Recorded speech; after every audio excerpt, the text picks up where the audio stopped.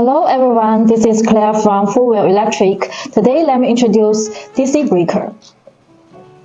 Circuit breaker as a protector and switcher in the DC system, it has functions such as overcurrent, overload, arc extinguish, and short circuit protection. The breaker will reset automatically unless there is another overload or short circuit in the in that same uh, circuit section. in our company, we have two pole and four pole uh, DC breaker, and the two pole is uh, 500 voltage and the four pole is 1000 voltage. Our DC breaker can do 6 ampere to 63 ampere. Now we can see this is the opening breaker. Um, the shell material is high strength flame, a retardant nylon plastic we called PA66. And now we can see uh, this breaker have 6 uh, reverts 1, 2, 3, 4, 5, 6. Uh, it have reinforced structure with improved sealing. It will have less damage chance um, during installation. This is the silver contact and our DC breaker have red copper coil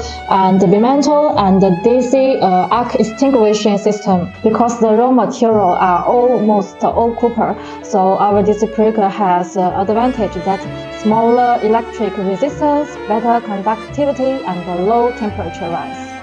Let's have a look at the testing of USFULL DC breaker in extreme strict situation, uh, namely overcurrent test and short circuit test.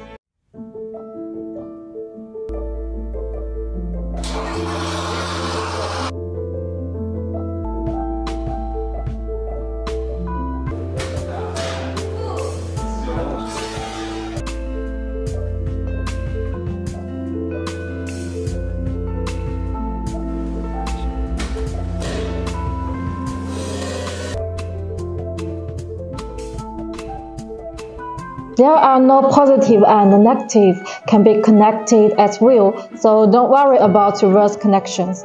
For USFULL circuit breaker, we have CE certification and the EMC and the LVD tester report.